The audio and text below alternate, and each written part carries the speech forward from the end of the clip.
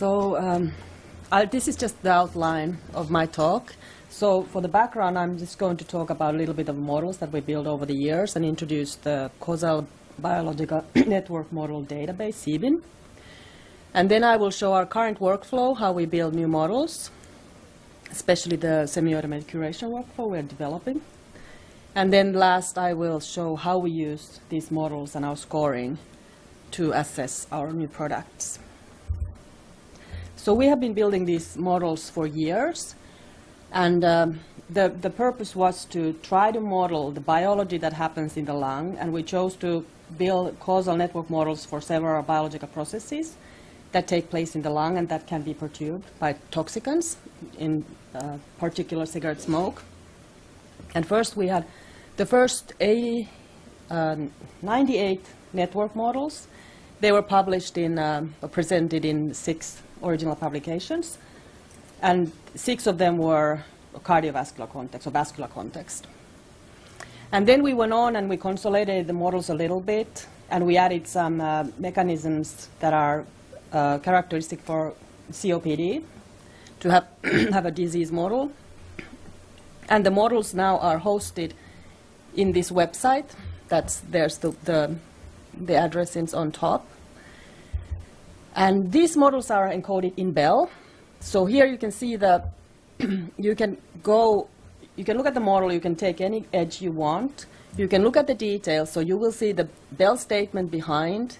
You see the context, you see all the evidences, which are uh, the text captures from the publication where it was extracted. And you can go to the original, back to the original article. And yes, and then there's an extensive annotation, so there's a species and the disease context for most of the edges. And these uh, models are kind of uh, special because they were built in, with very specific boundaries in mind, which means that we really aligned biological processes and we took only signaling pathways that were involved in that biological process. And uh, we built models for proliferation, stress, um, cell fates, etc. And then there are also several models that are cell type specific. So there are specific biology represented for, for instance, immune cells. And then the way the CBIN works, you can actually go there, you can download the models, you can download a ZIP file, which means that you have all the nodes and edges of the model in an Excel format. You can also download a JSON graph file that you can upload to Cytoscape and visualize it, modify it, and look at it into more detail.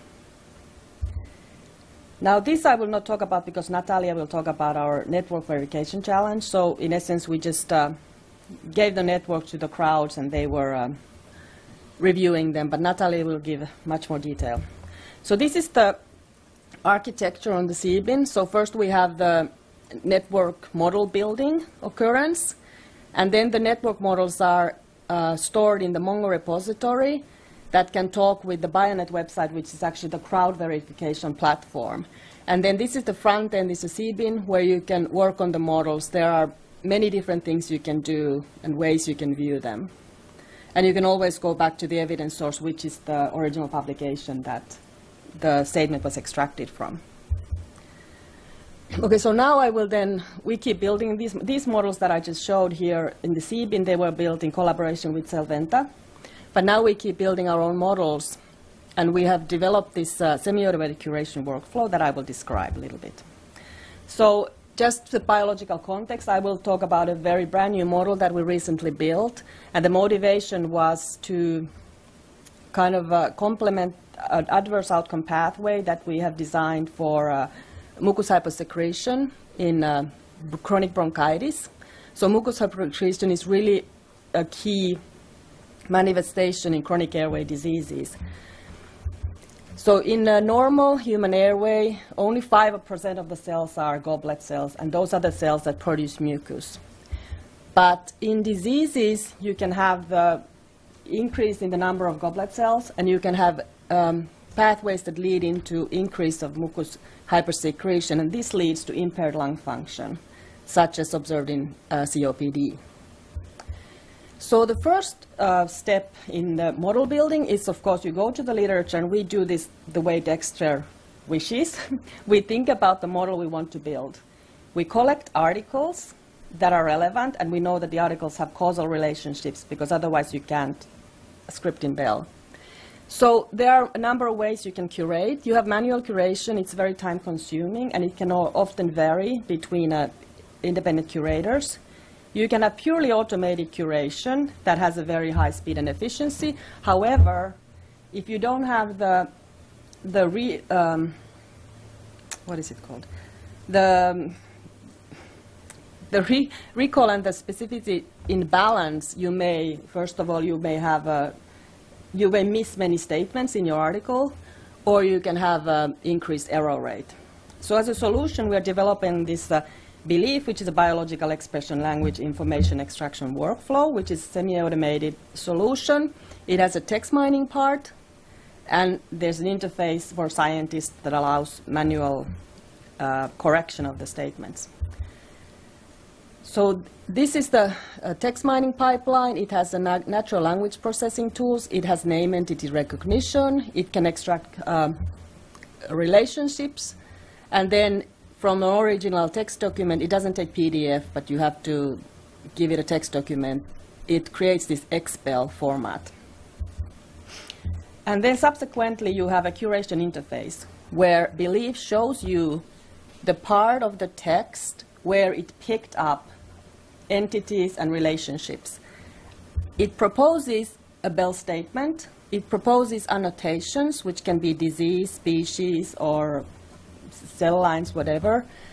And it allows you to correct it. You can say, okay, this is okay, or you can correct it to make sure that the statement is okay.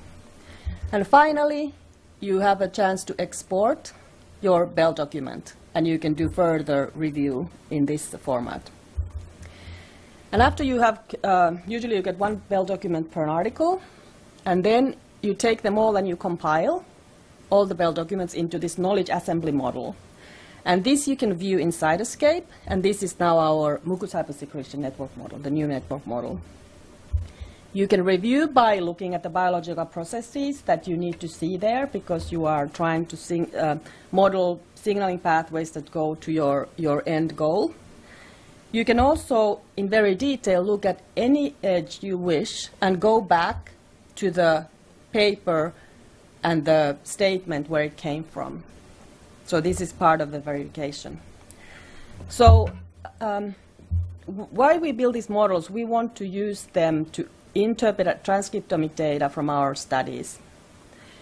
And we want to do it in a specific biological context. So these models need to be scoreable with transcriptomics data. So therefore, the models always have two layers. Some of the nodes in the model, the backbone nodes, underneath there's information about, about messenger RNAs that this node regulates. And this is all captured in literature or extracted from data sets. And so this allows you to, from transcriptomic data and gene expression changes, it allows you to infer activity of a node that has this downstream layer. And the algorithms uh, developed by our computation scientists, it actually uses this inference and computes a network perturbation amplitude for the network as a whole. And it takes into consideration three different statistics you have you take into consideration backbone topology, which means that if you uh, mix all the edges in the backbone and you get a score, it cannot be specific. Another thing that the downstream RNA nodes have to be in the right places, so if you just shuffle them around, you get a score, it's not specific. And thirdly, it takes into consideration experimental variability. So when you have uh, the three stars, it means that the NPA is okay, and it's um, specific. So for the net, net, um, goblet cell network model, we have tested it with transcriptomic data. So it was curated from literature. Some of the nodes have downstreams to allow scoring.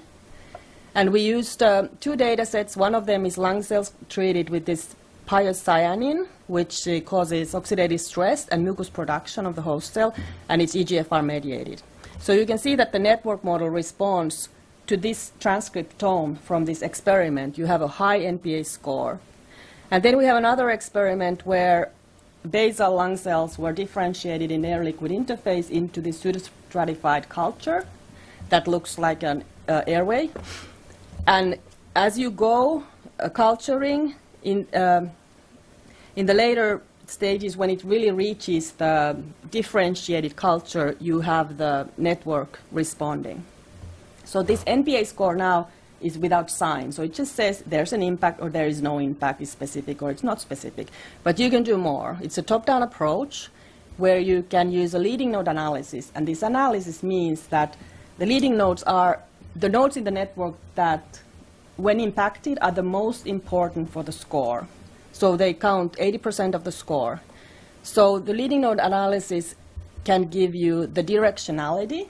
So here are the top, I guess, 10 leading nodes. So you can see that the, always in the red, it's predicted to be positively regulated. So EGFR activity is inferred up. And another thing you can do with the leading node analysis, you can actually pinpoint the, no, the leading nodes in the network. So you can put it back. You can go back to the network and you can you know, look what the region is. And this is important for, let's say, mode of action studies because you can have drugs with a similar effect, but on one network, one side of the network can be impacted by one drug and then another one by other. So it can be used for that also. And now here, when I put in this um, architecture picture, our belief would go there on the network model building. It's not by any means now integrated there yet, but that's what it serves, the belief. And so finally, I will, I will just show how we use these models on a real example.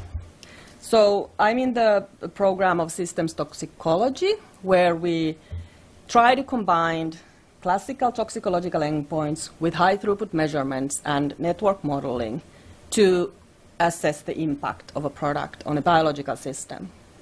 So it starts by careful experimental design. You choose the model, you choose the, the endpoints that you will collect, you do statistical design and all of that.